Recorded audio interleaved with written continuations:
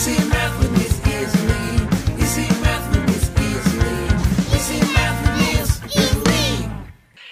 everyone, welcome back to my channel. Today we're going to start learning about fractions using some real life examples.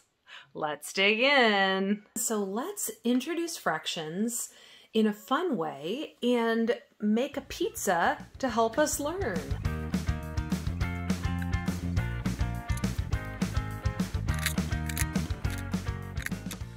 Okay, so now let's take a look at this pizza, this delicious pizza that I made, to start understanding fractions. So fractions are really just part of a whole.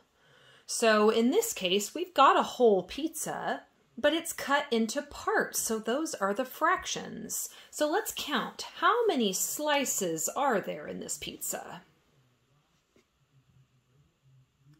Okay, good job. There are four slices. And now to start thinking about fractions, we can start thinking about some of the different toppings that I put on it. So how many slices have pepperonis on them? Okay, you got it. There's two slices with pepperonis on them, and there's four slices total. So we can make a fraction out of that. We can say that two out of four of the slices have pepperoni. How many slices have mushrooms on them? Okay, you got it. One. So we can say one out of four have mushrooms. And we can write it like this as a fraction. Okay, how many slices have olives? Okay, you got it. One slice out of four slices. So here's our fraction. We can also call it one fourth. All right, now let's turn on that oven and pop this in there. It's gonna be delicious. Ding, ding, ding. Yummy, look at those fractions. Okay, I'm gonna put a little Parmesan on top.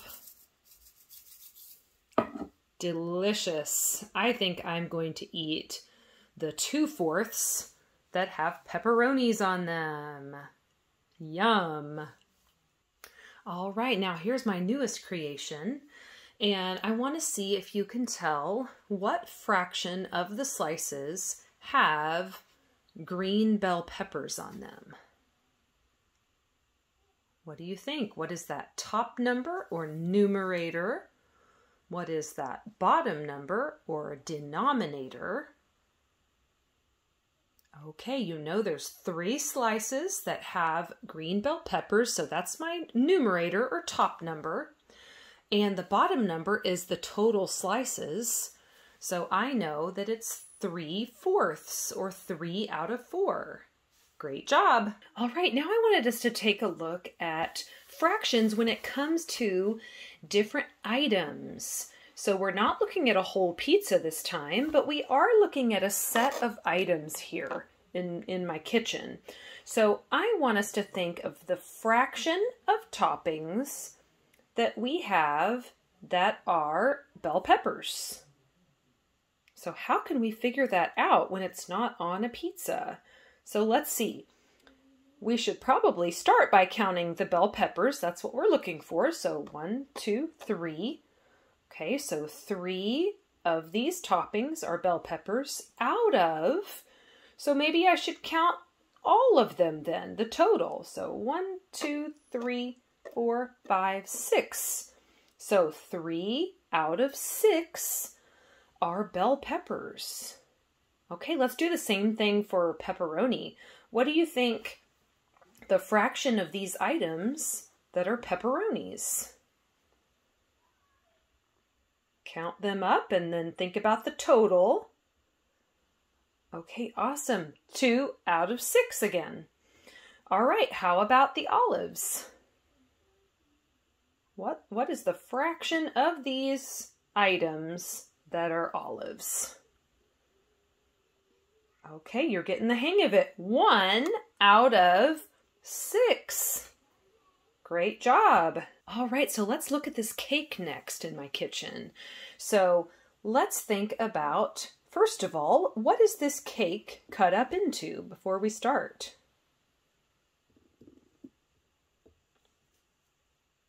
All right, you may be saying five pieces, or maybe you said fifths. Either way, you're correct. And I want us to figure out if I eat one of these slices, how much of the cake is left? All right, you may be saying one, two, three, four slices out of how much were in the original, the whole cake. Okay, great. Even though it's gone, you know there were five, they were fifths, so four fifths is left. Great job. Okay, now, how much of the cake did I eat? Yum. What fraction could we call that slice that I ate? Okay, awesome. One fifth. I ate one fifth, and there are four fifths left. Ding! All right, well, I hope this helped you learn about fractions, and I hope you feel more comfortable with them now. And I will see you soon on my next fraction video. Bye!